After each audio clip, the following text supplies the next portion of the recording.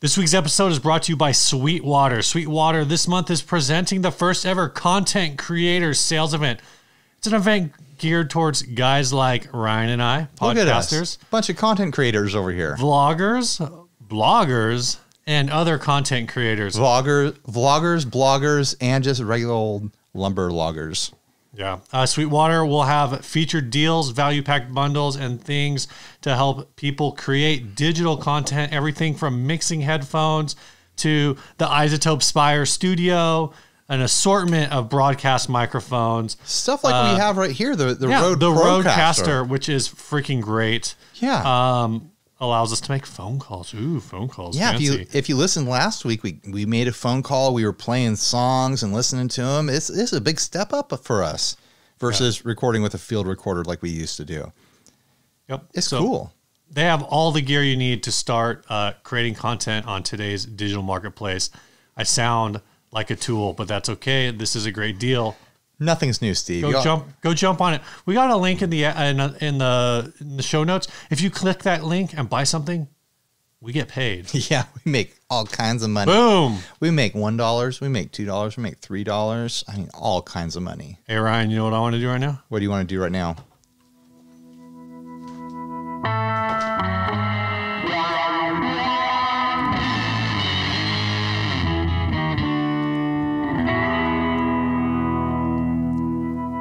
My name is Ryan. His name is Steve. You're listening or watching 60 Cycle Hum, the guitar buying, selling, trading, fixing, modding, breaking, reviewing, playing podcast. I was drinking one of these last episode. You, uh, this is the old Raz and I'm drinking one of these. stout from North Coast A Coors. Company. from Golden, Colorado.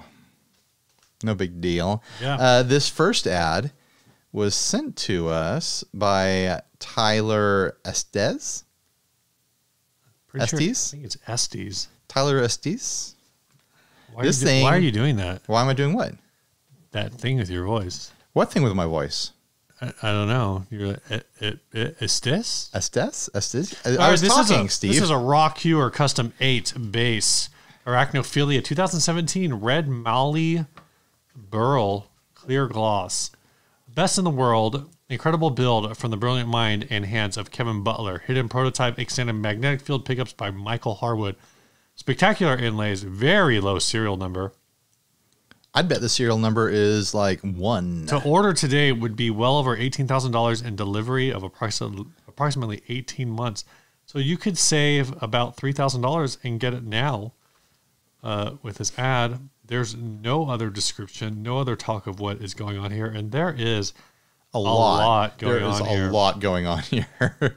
I mean, my, as I was screen grabbing this so we could talk about it on the show, uh the thing I kept thinking was this is opulence in the wrong direction. This is like what happens when you have too much money and you don't know what to do with it anymore. Like you just get weird stuff made with just fancy, fancy materials because you're going for materials that cost the most not because you have any sort of grand vision in mind, you know. It just feels like too much, right? Like at the core I mean, it, you have to have some kind of plan going into this because, like, sure. you don't just like start building a guitar and you and think to yourself, you know what this needs? Spider inlays. Well, maybe this, maybe the guy who ordered this called up the builder and was like, you know what I'm thinking about lately? Spiders. I've got an unlimited budget. You build whatever you think will go good with spiders. And so the builder just went crazy and, you know, he went too far with the spiders. And now the guy's selling it because now he's a little creeped out by how much spider stuff there is on, on here.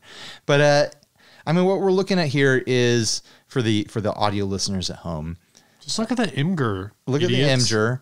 Uh, we're looking at Is this Imgur or Imgur? imager is what I hear people refer to it as. Um, is an eight string bass guitar in that each string has been doubled up Uh huh. with a higher octave. I mean, that's a normal eight for eight string bass. yeah, yeah. It's just not one of those super crazy eight stringy guitars Right. that are out these. It's it's a four string uh, concept that just has doubled strings. Uh, the body is shaped like a crazy, you know, like kind of BC Richish, like Warlockish, kind of like crazy Yeah. spikes and weird gnarly spider leg. It's kind of got like an, an intense violin thing going on. Actually. yeah, because it's got that cut cut away in the middle, but Yeah. it's like way more insane. And then it's got like a spider mandible headstock thing going on, spider inlays, spider web inlays on the fretboard as well, and just this ridiculous, over the top, opulent, like burl wood kind of top and back on it. Mm-hmm. I mean, the, something interesting about the body is that the tuners for the high octave strings are at the ass end of the guitar Yeah. behind the bridge, and the tuners for the heavy octave strings are on the headstock. Uh, when I was screen grabbing it, I was like, "Oh wait, didn't I see tuners on the other side? Why Yeah, are there yeah. tuners on the other side too?" And when I saw the, the the tuners on the butt end of it, I was like, "Oh, is this thing headstockless?" I just kept for because I was so like distracted by everything else going on that I kept forgetting where the tuners were. All right. So this part right here, where the the strings go in next Uh-huh. to the bridge, I feel like th- that's on the wrong theme guitar. You mean the little tailpiece there? Yeah. What do you think? What what theme is that? Should be on a bat guitar.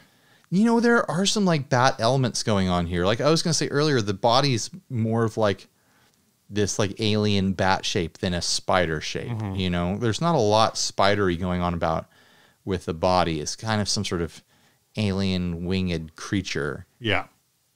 versus a spider. But I mean, I if I saw a spider playing this bass, I'd be like, yeah, that's a good bass for a spider. Imagine if you had a bass that was people themed and it had like a person inlaid on the fretboard. Just be like, oh yeah, you know, like people, people are cool, right?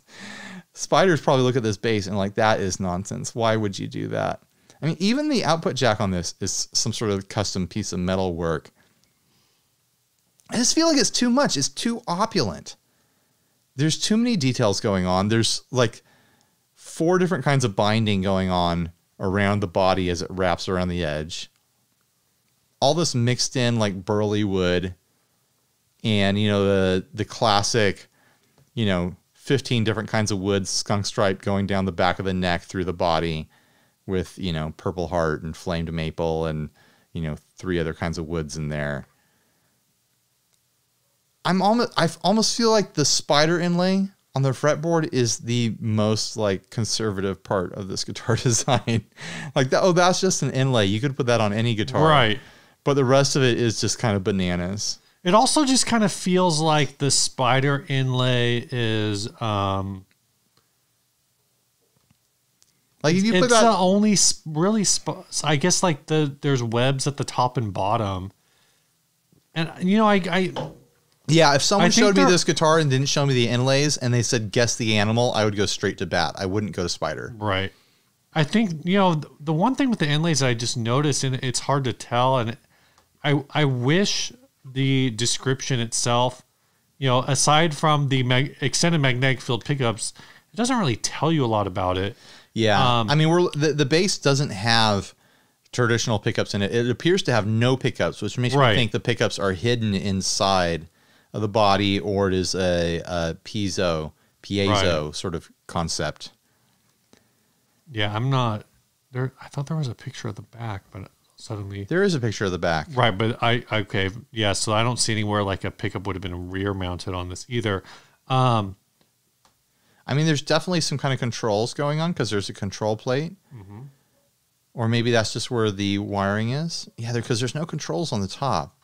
So there's some kind of electronics down there where the control plate uh, is. yeah, that might just be a- access. Maybe it's uh, you know pickup direct to jack. I don't know. Yeah, yeah. Well, I'm wondering if it's some sort of piezo thing or like some sort of because you don't see any routing anywhere behind the body where a pickup would be hidden or something like that. I have no idea what's going on with the pickup in this thing.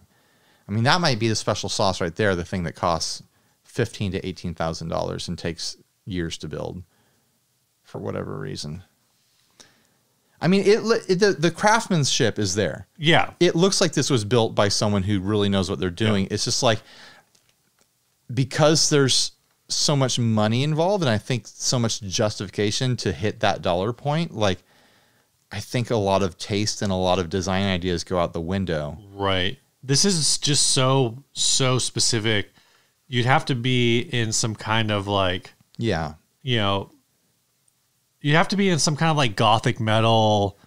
Not even not in the sense of like a Swedish death metal, but I'm saying like Rob Zombie, Gwar, kind of a thing. I don't think that kind of band is even going to be into this. I'm looking at this and I'm seeing like some, you know, old rich boomer that's way into the Grateful Dead or something You like think that. so? Yeah, it's got that hippie psychedelic thing going on. Ah, I don't Like it's got that acid trip thing going on. It doesn't look like metal.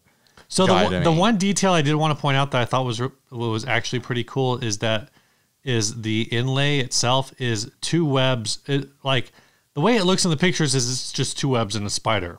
Right. But with the spider on the spider picture, you can see it, but you, it's not really. It's hard to see in other pictures. Is there is a center abalone strip running the entire length of the neck? The spider is crawling between the two webs. Right. Yeah. I mean, that's a fun detail. Like I said, I think the the inlay is the most conservative part of this whole thing. When I search for rock hewer, all that's coming up is bases that look like that. So this is definitely his style. I mean, that's a more conservative shape right there. But I'm getting a bunch of weird, not weird, but just random people. Rock hewer is the The builder. All right. yeah. I don't. Let's see if we can narrow that down a bit. Yeah, I mean that's a more normal base right there. Right. And that's the same kind of even though it's it's got crazy spikes and, and shapes on it, like like you could see like a like a Grateful Dead fan going for that sort of thing, right? yeah. You're- you're yeah, that's up- like very a uh, very alembic. Yeah, you're picking up on that Uh, aesthetic. a lot of their stuff is a lot of their stuff is very. I'm just looking at their main website and they have a, a few pictures and it's there's a lot of very alembic ex, in, inspired look here. yeah, I mean that's a very much more conservative one right there. Yeah. That's more like your your classic base shape. I don't know, man. I just I just look at this. I'm like, someone spent too much money getting crazy, and then now they're selling it. You know. That, uh, is that a point? Did I make a point? I don't think I did. I don't know. You know, it's it's expensive. It's very niche. I'm sure.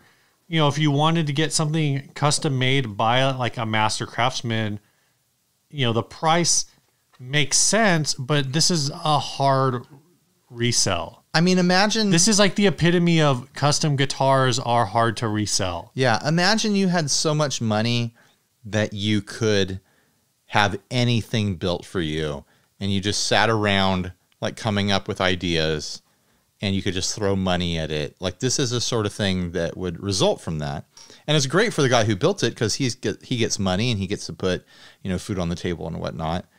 Um, but I just feel like there's something to be said for having design constraints that cause you to make an instrument that is more universally appealing because Right. this is the appeal of this is so niche that I can't imagine there being more than like three or four people in the world who want this. But if you have, No, I mean, if you I have to make something that's got So- greater mass appeal, even if you're reaching, You know, three or four people in the world want this, and how many of those people have sixteen thousand dollars? right, yeah, exactly. How much? Oh, this is only uh thirteen eighty five a month with Affirm. Oh, good. Thirteen hundred eighty-five or thirteen One thousand three hundred and eighty five dollars a month. a month. Damn. That is uh, a Well, I changed back, my- This is a backyard uh, shed converted into a studio apartment in the city of San Diego. Oh my gosh. yeah, someone posted an ad for a real estate listing that was a literal Yeah, shed. that apparently got like national uh, coverage. I kind of wonder if it was a joke. No, it's real. All right, it's real. Like it I has a still s- bathroom. It's an actual like it's basically a Yeah. granny flat. I still say they could get make more money by Airbnb-ing it out Excuse me. I mean, in that neighborhood. What's new, Yeah, Steve? yeah. You got anything new going on? I you know I tried really hard to come up with something new and I just couldn't. So uh, he was straining over here. He was like, I was like, nothing new is coming out. it's all old stuff. uh, I got more Harley Benton guitars. Yeah. I did an unboxing with them, but I got uh, this bad boy back This here. is the only one that I that I saw, actually. oh, really? Yeah, I didn't watch your video. I didn't have time for that. I got the Brian May style thing here. Oh, right, right. You know what? I for some reason I, I did see that, and I just haven't processed it. I'm a, you know, I was fe- I was filled with dread Yeah. knowing that these were going to be coming soon because I've been so overwhelmed by a lot of the guitars I've been getting and not having space. But I'm pretty happy with these. I think the uh, the uh, the semi hollow there that Steve has got is a great player. I'm still trying to decide if I like it better or worse than the uh, than the Firefly that I've got. I need to choose which one I'm going to keep. But then this guy here, the Brian May style one, the BM75, Yeah. I think this is going to be a regular church guitar for me. It's got this really bright, like high character twang to the pickups that just works really well with like murky delays and reverbs and whatnot. Cool. And it's just really comfortable and plays real nice. Swap, swap with me real quick. Play this thing. Oh. Don't ding it, Steve. And Dang yeah- it, Bobby. And yeah, it does all the out of phase stuff and whatever, but I think it's just a fun player. This neck is so like it's weird switching because the neck on that one is so much bigger than on this. Yeah, the semi hollow neck is really super fat.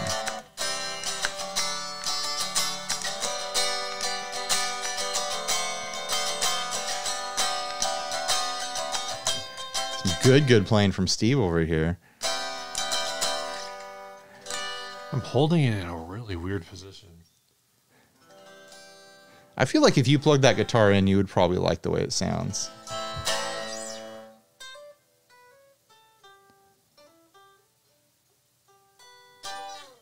I want to take it apart and I want to figure out where those pickups came from too, because they don't have any markings on the outside. I want to see if they're actual Burns pickups.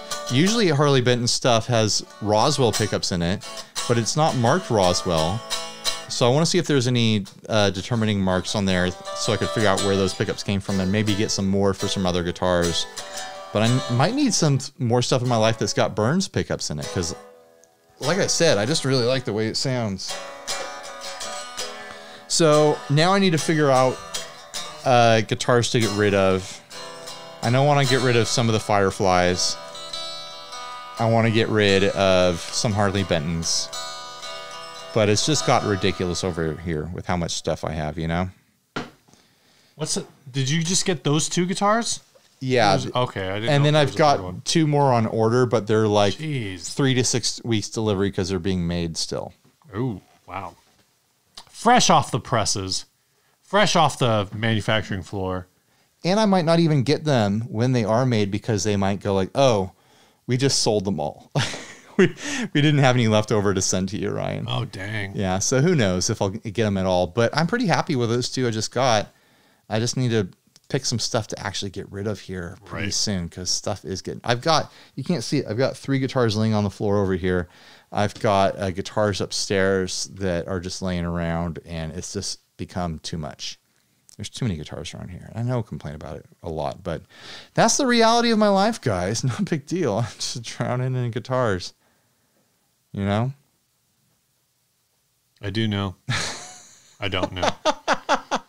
So you got nothing new, huh? Just oh a, man, just a boring boy over here. yeah. I you know I feel like uh, I have a feeling by the time this episode rolls around, I might have some new stuff because you know it's a like twenty days out or whatever. Yeah. I know what's new with you. What's new with me? Uh, you and I are sponsored now Oh yeah, by Manscaped. I'm wearing I'm wearing their shirt. We're now official podcasters. This is the most like podcastery sponsor we've ever had. Yeah, manscaped.com. I mean, uh, uh, you know, what's next? Purple mattress, Casper mattress, any of those mattresses? Could be.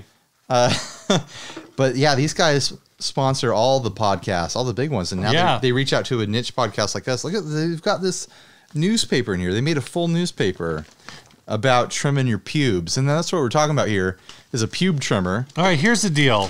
Here's the deal because I actually already did this. I got some underwear. Ryan's stuff is all packaged up. Uh, but Shirt. I actually use this because Manscaped is number one in below the belt grooming. Wait, I, you I used want it? to check it out. Yeah, I used it.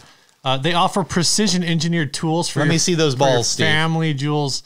I'll show you later. I'll show you later. So, th- so we'll start right here. You're talking about the Manscaped Daily News. Um, this is kind of like a comedy. Dude, just put stuff down. I'll explain it all to you. Just, okay, No, okay. you can like set it out here. That's okay, fine. okay, okay. So we'll start here. This is the Manscaped Daily News. Uh, each page in here is is kind of similar. Some of them, yours are very different than mine. Uh oh. Actually, this is a, vi- a completely different set, so you, I guess you get different ones. Uh, but this is for you to put down on the floor of your bathroom, so you're not putting like flushing those hairs Oh. down your uh, down your bathtub, where you're gonna clog up your drain. That's to catch you all your just throw this stuff. You just throw this down on the ground. All your sack hair and whatever gonna, is gonna fall onto this. Wrap up the paper, throw it away. All right. Cool, cool. Let's so, see this buzzer. So here's the deal. Here's the deal, because I, like I said, I use this. I've never done. I've I've done a very small amount of what they call manscaping, right? Yeah, yeah. Always with like scissors. So here's difference number one with scissors. You, You know kinda, where you know where I have manscaped? Where? in the past is uh, I'll get like my my my armpit hair. Okay. It'll like when my arm is down, I'll get like a curl sticking out like that, yeah, yeah. and it's just kind of like kind of cut that off. annoying. You just I just that off. I just trim that off. All right. So here's the thing, right? Uh, it, I've done like the scissor thing. Like you got, you got a little poof sticking out of your of your underwear or whatever of your of your board shorts. You're like, oh, I got to cut that off with scissors. Yeah, yeah. But you got to figure out like how long is that. So first of all, with this thing, you got a, a, a small trimmer. It's small. It's compact. This is like way smaller actually than I expect it to be. You have four That's what she four said. lengths plus the clean trim. We got going- three millimeter, six millimeter, nine millimeter, twelve millimeter. Uh, so I went with the 12 because that's the longest one, and you know I don't really know what I'm doing. But here's the thing: is it's it's there. It's 12. You don't have to really think about it. You just go to work. I mean, that's the longest you want your pubes to be, anyways. Twelve millimeters. Apparently so. I mean, that's the uh, the that's the ideal, right? so what this is here, what you're putting together together there is the Lawnmower 2.0. It has proprietary skin safe technology, so this trimmer will not nick or snag on your nuts. That's actually really That's, important. That That's is important because what if this thing, I mean, you accidentally cut your nuts? You're using scissors. You grab your nuts by the base. You're using scissors. You trim your whole nut sack Yeah. off. Well, yeah, I that mean, could you're- you're- happen. you're- it, it could. That could It's happen. Probably not, but you know, it's definitely Mine's- it's I- definitely a lot easier to clip yourself. And All also, the like- scissors I own are super sharp. You could definitely cut your nut sack off with them. okay, This will not cut. This will not cut your nut sack off. Look at this. I'm touching it with my hand. It's not cutting my hand. I could probably touch my eyeball with this, and it wouldn't yeah, I cut want my to do eyeball. that. All right, so so there's a bunch of other stuff, right? I've been using this. I've used three quarters of the products in here. Actually, eighty percent. Man, you've been flying through this if stuff. you if you count this stuff, I've I've been used I used eighty percent. So this is the crop cleanser. This is a hair and body wash. Um, so it's it's just got like a nice kind of like uh piney like woody smell to it. Like We're spending a lot of time on this sponsor. They're getting getting their money's worth out of us. this uh this this stuff actually is the stuff I was most excited about. I will have to say, which is the crop preserver, which is an anti-chafing ball deodorant. And the crop reviver, which this is the one product I haven't used yet, but this is a spray also for your junk. Steve, on a scale of three to twelve millimeters, how excited were you? Uh, which direction is which? I think you know. so here's the thing, right? At our first NAMM, we were recommended Body Glide. I recommended Body Glide. uh, You recommended it? I thought it was recommended to you. no, I was the one with the Body Glide. So Body Glide. It USB charges. You Yeah. can plug it into your computer. So- so you can keep this right next to your computer so everyone at work can know that your pubes are nice and Well, trim. so anywhere you go, you have this compact trimmer. You're already carrying uh, a USB charger block because you're Yeah. you got to charge your phone. So now it's I got like one less right here. Thing. There you go. I could plug this into the to the Rodecaster here and charge it. I don't think that's how the Rodecaster works. All right, here's the thing. This stuff right here, crop preserver, use this with your body glide at NAMM. Your balls are going to stay fresh all day long. fresh balls. Finally, all day freaking long. I'm tired of these stale balls.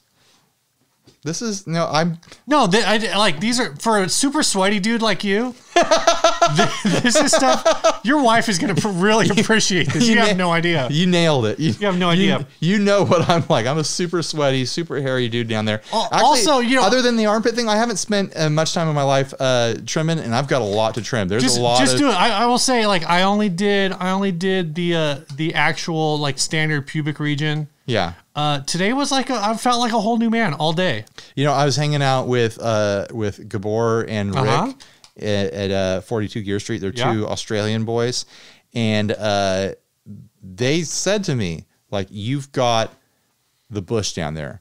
They didn't mean you've got a bush. They meant like like the bush. Uh huh. like the In back, Australia. the back country. That's they, that's, That's what, what they- you have. That's the phrase they used to describe my whole body. That's right. They both saw me naked. They weren't naked. I was naked, and they saw it. I don't even want to know. Um, What stays at Henning? Here- what happens at thing. Henning's house stays at Here's Henning's the other house. thing. That's like a six thousand RPM trimmer. It's gonna Holy it's gonna hell. cut through freaking anything. It's gonna But it won't cut through that down. But it won't cut through my ball no, sack. it's just gonna take your hair down. Boom, like that. If you want twenty percent off and free shipping at Manscaped.com, use the code sixty cycle hum. Um, Here's what I'm gonna say. you get it. Here's what are you I'm gonna say? guys. Here's my pitch. What looks better? A headstock with a bunch of strings hanging off the ends of it, or a nice trimmed up head up headstock? You know the answer. You know the answer. Go trim your fucking balls. Trim your pubes, guys. Stop being such a mess down there, ladies. You can do it too. You got pubes This isn't for ladies, man. This is only for I men. it it's called says- I Manscaped. know it says manscaped, but it could say womanscaped as well. You got pubes. It's all made out of the same stuff. Trim it up. Come on, guys. Trim it up. Stop being so sloppy with your pubes. All right. Let's talk about. Uh, I mean, technically it's an ad, but we're going to treat it like a topic because who freaking cares we, what we talk Did about? I say 20% off plus free about? shipping with the code sixty cycle hum at checkout? Yeah, you're going to buy a pube trimmer anyways. Might as well buy one that makes us some money, Do it. guys. No, it's. I'm telling you, this is life changing. This is life changing stuff. You know what? Steve had a pep in his step when he came in. Mm-hmm. And I was like, I wonder if Steve's trimmed his pubes. I feel lighter. I felt lighter all day. Are you sure you didn't cut off your ball sack?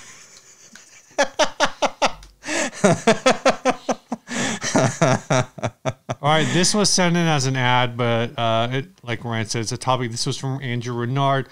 This is a Phish signed autographed full size guitar. I was- Uh, This is a bunch of other autographed full size. Well, let me tell the story. Let me tell the story. I was looking at this ad. I was like, oh, okay, yeah, this Phish signed another friggin' guitar, and these people are gonna try. It's like a, you know, a a carnival prize guitar, and now they're trying to flip it for nine hundred bucks or whatever. Boring. And then I looked down underneath the ad, and it says see similar items. All kinds of carnival guitars signed by all kinds of bands, similar prices. The U2 one, two thousand bucks if you can see that there. Uh, Bob Dylan only nine hundred ninety nine dollars and ninety nine cents. Sorry, Bob Dylan, U2 is worth more than you. And then so I click on see similar items, and all of them are from the same seller from this backstage items on Etsy, soon to be Reverb. Uh, they've got 118 items, all pretty much exactly like this. Budget carnival prize guitars they've got albums they've got straps you know photos and stuff like that. All have been signed and selling at ridiculous rates like this is like a cottage industry this seller has here mm-hmm. and i'm wondering like do they work at like like the Del Mar fair or something like that like if like the the the county fair circuit where these bands are coming through and they're just like, oh, hey, if you guys could all sign this guitar here in the green room, it would help out a lot. And then they just take it home and try to sell it. Is that the grift here? Like, do you think these bands are aware of where these guitars are ending up? I'm trying. Okay, let's see. What does this actually say in the details? 100% authentic, full size, mint condition, did a COA, as well as pictures of Trey. So this is the Phish one. Trey and some of the other members of the band signing autographs outside their hotel. So basically, it sounds like this is a guy who just I don't know stalks these the hotel where these bands stay or something. He's got a, I don't know. Yeah, maybe he stocks the hotel. But this is definitely like a full time gig for him. You get 118 items going. That's like half of your work year Do you think right these there. are all things that like he got signed? Like he gets things signed on a regular basis. Oh, the, the Phish one is vintage from before 2000. So maybe this is just his collection over maybe the year. Maybe his this is hobby, and now he's trying to sell them. maybe this is wasn't a state uh, some kind of a state sale. This person has only been on Etsy for two, since 2019. So this 118 items have all been listed in the last 10 months. well, maybe they were trying to sell them on eBay before, and then they just discovered Etsy or Mm, could something. be, could be. All right, looking at this, uh, this all these different items. What would you actually? Is there anything in here that you're like, ah, No. I want to. Like, I'm not saying you would pay for it. Is there even anything in here that you were like, no, I don't want any of you it. You don't want any of it? no, None of it. no. None. Nada. What do you see something that I'd want? Why is the ACDC signed autograph eight x ten? One of them is four hundred dollars, and the other one is two hundred fifty dollars. Does it, one of them have more signatures? I guess one of them has four sign five. Yeah, maybe it's The the, other one only has two. Also, in one, in the more expensive one, Angus is wearing the hat, and the other one he's not wearing the hat. Oh, You know, the oh. hat makes a big difference. Does it ever bother? Because okay, so this bothers me Okay, what is it? that. So the picture of the fish guitar, and, and you can't tell this for sure for all of the other ones, but I'm I w- expecting that this is the case. These are all like fifteen dollar carnival guitars. That's what I'm saying. That's why I think this this comes from like the the like the county fair circuit of concerts. And it's totally like the bands that would play county fairs and Maybe this was someone who was at like some radio station that closed down, and they're like, Uh, "What do you want to do with all these guitars?" And they're like, "I don't know, man. Like, maybe it is a radio y'all are out of thing. business, and we don't care. Go home." They raided the prize locker of the of the radio station. Yeah, I just there's something about it just seems dumb to me. Like, is there a huge? I feel like if there was a huge market for this sort of thing, then this guy wouldn't have 120 things to sell right now Yeah, because it would they would sell all the time. maybe he just listed them all right now. Maybe he had two hundred. We don't know. He started out with a thousand, and this is all that's left. But the prices are so high too. Yeah, some of these prices I don't I don't understand. Uh, maybe you know, A two hundred dollars for an Eddie Vedder signed photograph. yeah, that actually. So the signed photograph. Uh, yeah, I would say like a Eddie Vedder signed photograph is maybe like fifty bucks. A guitar strap signed by James Hetfield. 250. Two fifty. Well, I mean, his career is over, right? yeah, he's going into rehab. Metallica's Metallica's Dunzo. Yeah, they're gone. Bob Dylan signed a pit guard with no hardware. Just a pit guard is a thousand dollars. well, Bob Dylan probably charged like eight hundred dollars to do that because he's a capitalist. Uh, some of these are like almost kind of insulting when the an entire Foo Fighters signed guitar is less than a Bob Dylan signed pit guard. Imagine you're the Foo Fighters and you you pull this up and like, okay, let's see what they're selling the guitar for, and you're like, Bob Dylan's getting a thousand. We all signed that black guitar, and they're only asking six twenty five. We're worth more than that, guys. The flip side is, you know, Radiohead's got to be like, you're only asking seventy five dollars more for our guitar than you than you did for the Foo Fighters. Only they do it in a British hmm. accent. Foo Fighters are known more as a guitar- Actually, if it was Thom Yorke, it'd just be like, Foo Fighters are known more as a guitar band than Radiohead. But like, it's not like any of these guitars make sense for the bands either. They're all just the just cheap, Strat, the strats. cheapest Strat knocks off, knockoffs you can imagine. There's a country guy who's got an acoustic.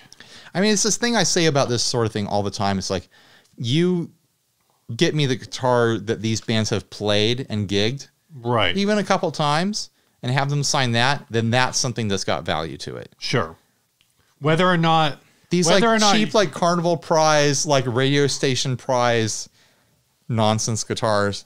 Who cares? I mean, sell me their their autograph on a napkin, and it's worth as much yeah, to me. whether or know? not you personally would pay for it, you, there's at least you know under some understanding of value when Reverb does these um, artist collection Oh, yeah. sales, and it's you know I'd for sure buy buy something from an artist collection. It's like, Yeah. oh yeah, I yeah, I'd buy that that guitar that that guitarist I really like never used on a tour or recording or whatever, but I know that they owned it, owned it. Right.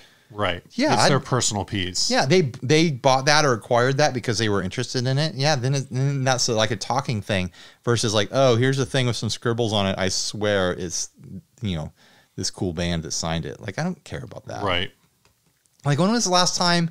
I think I this is like a mentality of people like outside, and I think that's who this is for. This is for people who don't play guitar. This is for people who are music lovers but not musicians. You know, mm-hmm. and I encounter this a lot with like people's thoughts about art and design and whatnot. They're they're like, oh man, yo, yeah. Oh, if you could get a piece of paper signed by Picasso or whatever, then it'd be surely be worth a lot of money. But uh, no, probably not. I mean, it's just a signature. I mean, you could probably track down the deed to his house, and it's not worth any more than any other other deed. You know? Right. well, I mean, that might be. I understand what you're saying. It's not going to be worth like mega bucks. I, you know, there's a there is an autograph. That's an its own cottage industry. sure, but it's not this massive score multiplier that, right. Right. that we're seeing applied. Picasso already here. signs all of his artwork anyway, so signatures there, guys. right. Just go buy the art. Just go buy the art. Buy it. I don't know. Maybe I'm super wrong about this, but that's my take on the whole scene of memorabilia, I guess. Right. And it's different. Like I realize there's like sports memorabilia, but still, like doesn't Adam have like a baseball bat that was signed by Tony Tony Gwynn or something like that, and it was like a probably. bat that was used in a game or whatever. I think I think in sports memorabilia, it at least there tends to be a much stronger collector's market, but it doesn't drive in this thing where it's like like there actually is a grading. Unf- unfortunately or unfortunately, because when you're a kid, you just go to like your local Big Five or whatever and grab whatever baseball off the shelf, not realizing that like and again this sounds this sounds dumb but it's like you people will go and they'll spend like buy a 10 or 15 dollar or whatever they are now like official rawlings major league baseball and go get it signed. And it's actually worth significantly more that ball signed than like a rawlings little league baseball Okay. Just because it's the major league but that's the same thing here. You know, like if these were good guitars, no but that i'm saying that is like a a significant. s- uh, I mean, maybe like maybe you could think about it from like a score multiplier. Like that's a, that's an actual score multiplier. right. So here, if I get a Dave Grohl 335 signed by Dave Grohl, maybe it's worth like I don't know three or four hundred dollars more than a regular Dave Grohl 335 Sure. what I'm saying, and then if uh, and but I'm saying like any guitar signed by Dave Grohl is going to be worth maybe three or four hundred dollars more than than just That's the cost. signed. That's the cost. That's the of cost of the signature. signature. Whereas with a baseball, I'm saying like an official baseball that is like cost ten dollars more than a cheap baseball is going to be worth like double. So like that cheap baseball might be worth twenty five dollars, but that official baseball would be worth like fifty dollars. It, it there's a scaling there, so it's actually functions more as a multiplier. Okay. But I think to that there is going back. There's a there's an object collectability, and all of those base objects are are cheaper in sports memorabilia. I would say like maybe the closer equivalent with music would be like getting a like getting a bat signed or getting a ball. a bat would be like a more expensive version of a ball, but they're all just objects. I think really you would compare like a ball versus a bat to maybe getting like a CD signed versus uh, LP. Okay. You know, um, Here's my question. but once, but be, even those are seen as like personal objects of the band because the band produced that item. right. Right. You know, there's an official affiliation there. This is just some random jank guitar, Yeah. That you could win by throwing enough basketballs Yeah. through a hoop. And those basketballs aren't even signed by Kobe Bryant. Here's my question. What's the difference between baseball and uh, like say baritone ball or tenor ball? Um, baseball is a lot lower. Tenor ball is like it's a very high ball, That's a high ball. very high ball. So if someone throws a ball really high, you're like, there, that's a tenor ball. Tenor, Yeah. tenor. That's a tenor. Yeah. And right in the middle there you got your like soprano ball. Or is that higher than tenor? A soprano ball is higher. It's way higher than ball. tenor. That's Yeah. a high ball. Yeah. You're gonna think about that in the future. You're gonna call that out in the middle of watching a sports game with your friends not. at a sports game party, and like, oh, there's a soprano ball. I'm gonna have to try that one out. yeah, try it on for size, Oh guys. man, that was a real tenor there. Let us let us know how that works at your guys' sports parties, guys. Let me know how it goes. If anyone down. has like goes and watches, you know, the World Series is coming up. So if you're watching the World Series and somebody uh, uh, throws one, you know, up and in, be like, oh, that was a real tenor at the head. Jeez, yikes! oh man, that was a low one. What is this? Contra baseball? Yeah, yeah. There's a good joke for you, huh? Hashtag contra baseball. What is that like a ground ball? It's so low. So it bounced. It bounced. uh, next ad. Yeah, this ad was sent by Caleb Wong. It was in LA. It says, uh, selling my Gibson SG that was once my pride and joy, but after years of not fixing the headstock properly, I've decided to part ways with it. It cost me over $1,400 when I bought it. Letting it go for 200 with some love, I'm sure it can sound amazing again. Thanks for looking. This was in again in Bell, California, which is in Los Angeles. $200 Gibson SG. The break in the headstock is right below the E and uh, It's right E on. strings. It's right on the truss rod screw. yeah, yeah. So it's higher than a normal Gibson break. Like, how did this even happen? I've never seen one that high. I don't think.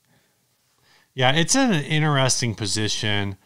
Um, depending, it's it's hard to tell because you only have a picture of the front, not a picture of the back. So it's Yeah. it- it's probably angled, Yeah. and I have a feeling the break makes actually makes okay sense. Once you see it that way. Um, once you see that it uh, it's probably coming in at a forty five degree angle, but so it usually does break right there, closer like, to the truss. clo- yeah, closer to this the the screw close to the nut. Then Ah, because that's the thin point of the wood where there's all that wood hollowed out right there where the truss is. yeah. Like that is not a thin point of the wood. To have it break right there is kind of incredible. Yeah, I mean it's interesting. Now, a lot I you know I put on the group when I saw this. I'm like, man, that that's two hundred dollars. It's two hundred. Um, I'm I'm not gonna over. I bet you could. Yeah, I bet you could sell the pickups at a flip. Well, so that was my first like first thought is like if I you took this to a luthier, and um and they were like, no, dude, like this is gonna cost way too much. Like like I don't like I don't even want to take this on. Yeah, then you sell the parts. And like someone, somebody made it sound think, said that they didn't even think they, you know, the parts could do that. But I'm like, I, I definitely think you could. yeah. Um, the other thing is, is um, you know, F- Philippe and I were 100 percent on the same page Caroline? from from Caroline Yeah. Guitar Co. Is he goes, he goes, yeah, I've seen Boot from uh, B.A. Ferguson guitars. He's like, I've seen Boot repair way worse than this. Like, it's certainly not the worst headstock repair I've ever ma- seen, what but ma- it's a very ugly headstock What repair. makes this look bad is I think the probably the owner already tried to repair it. Right. And so I think you would probably have to pay a little extra and what would probably happen is the luthier would go in with a hair dryer or like a, a heat gun because that's probably just some cheap like cheap wood glue. Heat the thing up, melt that glue. I don't think that's wood glue. You don't think it is? That's some kind of like mixed epoxy, like two part epoxy gunk. Well, and so that's what I'm saying. Like maybe, uh, you know, I think you could sell all of the hardware on this guitar and then find some some amateur luthier who would take this off of you for like a hundred bucks. And oh, you're already. saying sell it? Yeah, I'm saying if you wanted to do that, yeah. uh, no. What I'm saying is I would be on the. My original thought was like I would drop 200 on this. Set another set a secondary budget of like I don't know maybe 250 300 to get this repaired yeah. because this is a this is a Gibson SG standard, full block inlay, crown inlay. Yeah. It's got the pineapple. It's the good good. I mean, I've got I've got an SG that I got for 250 and then I probably it doesn't put, have any of those inlays. I probably put a 100 of work into it and, you know, cheap pickups that I threw Yeah. into it and stuff. It came with the Gibson pickups, but I didn't like the way it sounded, so Mm. I've been experimenting with pickups over the years. Uh, but yeah, mine is a is a faded that was refinished by the guy before me. This is the the good good standard stuff. Um, so yeah, I you know I'm on I'm on Team Steve here. I think a good luthier or repair guy would be able to take this. I don't think they would dissolve that glue or remove the glue. I think what they would do is they would figure out the angle of that break. They would take a band saw to it as close to that angle as they could. They would clean up with like a with sanding all that excess glue and then they would line it back up the way they thought it should be with whatever, you know, woodworking magic supports they need to and put it back together clean. Yeah. That's my guess for that. Um, I mean, you know what? You could always just pay 200 for it. This person played it for years with this repair. So that's and the you could I- just you could just be thing- like this is my zombie guitar and it lives even though it shouldn't. So you've got a guitar that plays like a you know, a $1500 Gibson for 200 bucks even though Well, I mean, with that with that mangle, maybe it doesn't play at like fifteen hundred dollars. I don't think it would be a problem. Excuse me. It's outside of the the the truss. Yeah. As long as that glue is stable, which I'm sure it is, I'm sure that break was at an angle and that epoxy is holding everything rock solid. Mm-hmm. I'm sure it's going to be fine. It's just always going to look funky, you know? I think that's probably what I would do. I would buy it and not do anything. Well, it did sell according to the screen grab, I'm not surprised. and uh, yeah, I'm not surprised either, man. I think uh, you know this was one of these moments. Every once in a while, somebody posts an ad on the group, and I go, "Why are you posting this? Just go get it." Yeah, go get it. And and that was uh, that was my thought. That's you, dude. Oh, is that me? Is it my foot? I we're probably hearing something that no one else can hear, but I was squeaking on the table with the edge of my shoe. And staring at. I was looking like- at you like, what is that sound? Is there a mouse in the Yeah, garage? I thought it was like a neighbor dog or something. All right, uh, Neighbor dog. This uh, episode is also sponsored by D'Addario. Uh, this time around, we're talking about the XT string. The XT string combines the uh, an ultra thin coating for extra extra long life. The steel core is it steel It's a carbon steel core. from the NYXL string. Yeah. The fusion twist also from the NYXL string to to generate the uh, most technologically advanced string that D'Addario has to offer. This is the culmination of a lot of D'Addario's best R&D into one string. yep. They're like, we learned a lot with this pack of strings. We learned a lot with that set of strings. We're going to combine them together. Here we go. This is the top string. Yeah, this is a string world. that has all of the advantages of a coated string Yep.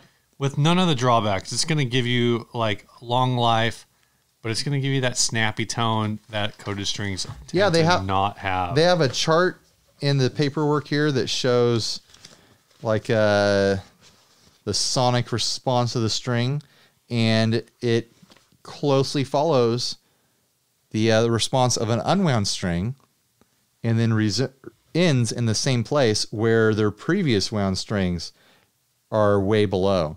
So they've learned a lot. They've improved the design of their wound of their uh, coated string here, and uh, I can't wait to try it. I've got this pack here. I need to throw it on something I said in the last episode. I'm probably gonna throw it on my Hallmark, and I think I'm still gonna do that. It's a pack of 10 to 46s here. Yep. They make these for acoustic, electric bass, classical guitar, mandolin, and banjo. Banjo?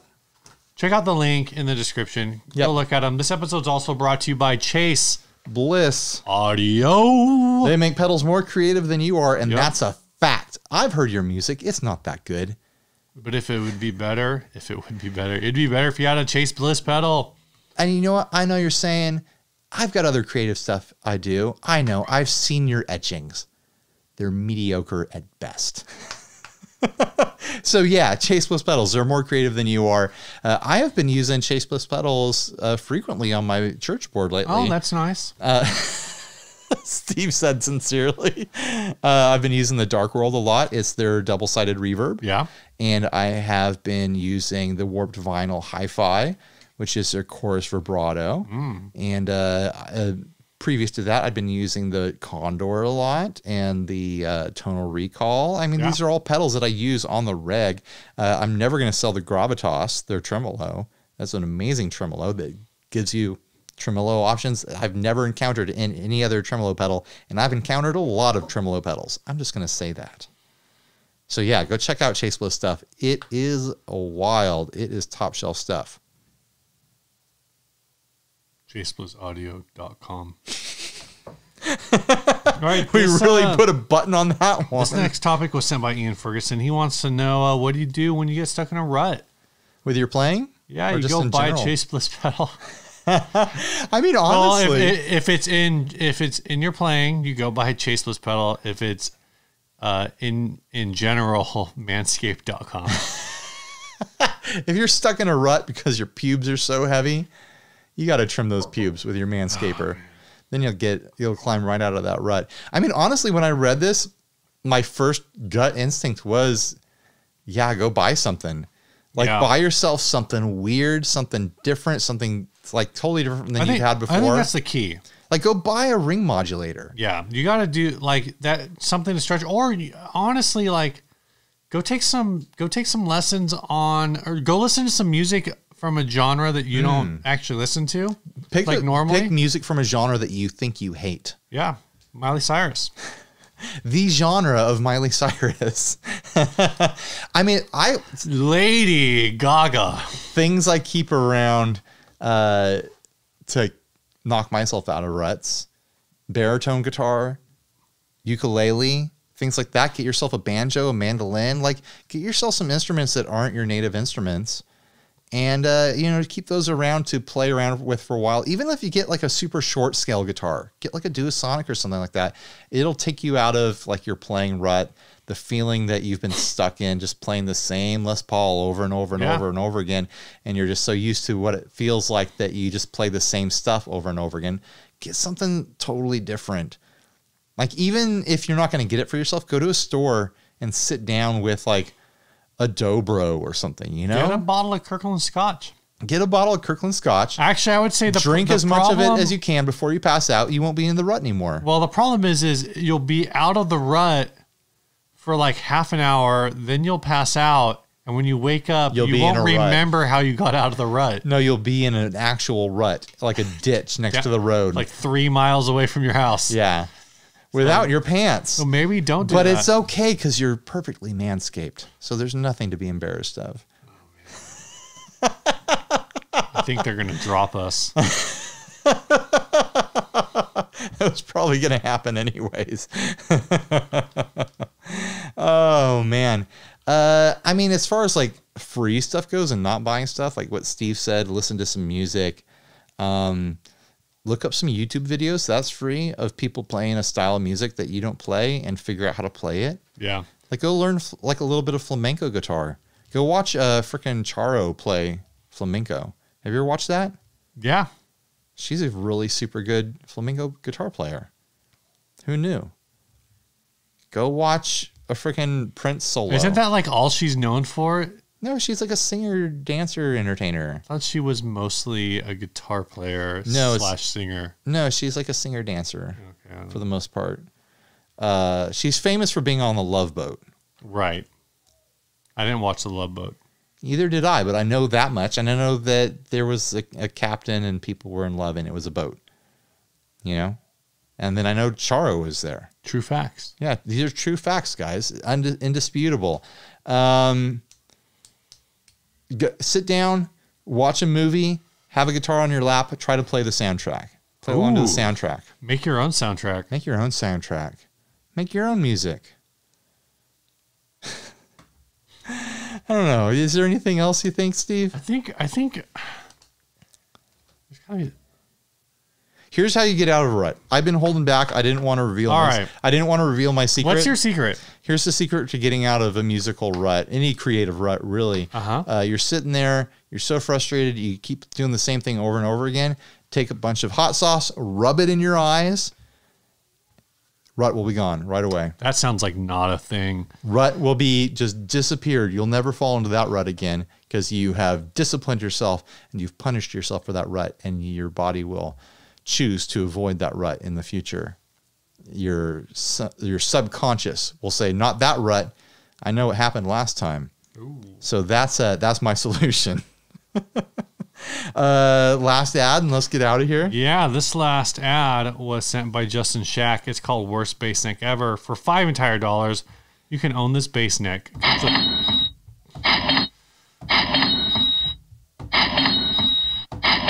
It's a- Is think I think that was five dollars.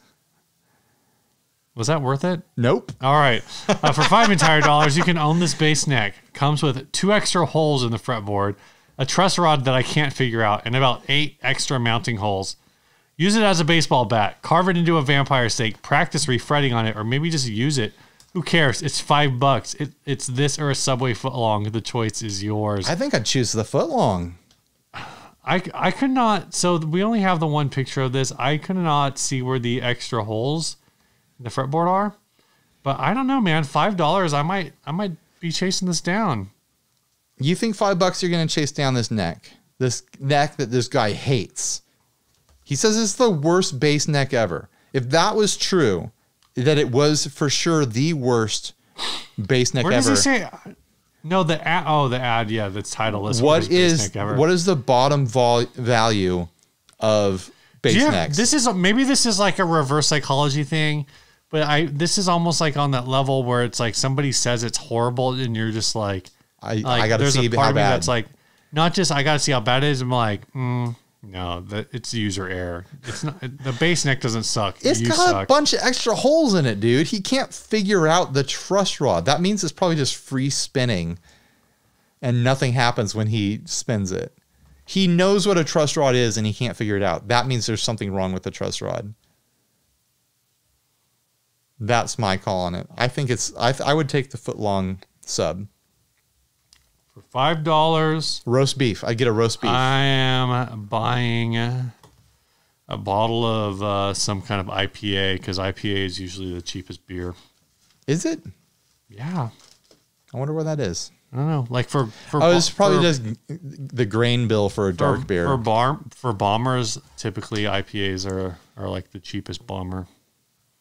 We're talking about Not double IPAs. We're talking about IPAs. craft beer here because I mean this is a, a cheap beer Yeah, compared to an IPA. Yeah. I mean, You could buy a, like a six pack of course. so you would you would buy beer over over this neck? over a Subway sandwich. Oh, well, I thought we were talking about the neck. Um, Would you buy I mean, a beer or this neck for five bucks? do I have beer at home? Oh, do you have a bass neck at home? I don't. not- I, also don't have a bass body at home. That's not part of the equation. Are you going to buy? I'm buying beer. You're buying beer. All this right. person says it's the worst. Neither of us want it. We're going to take the food or the or the the beer. I mean, I kind of want it.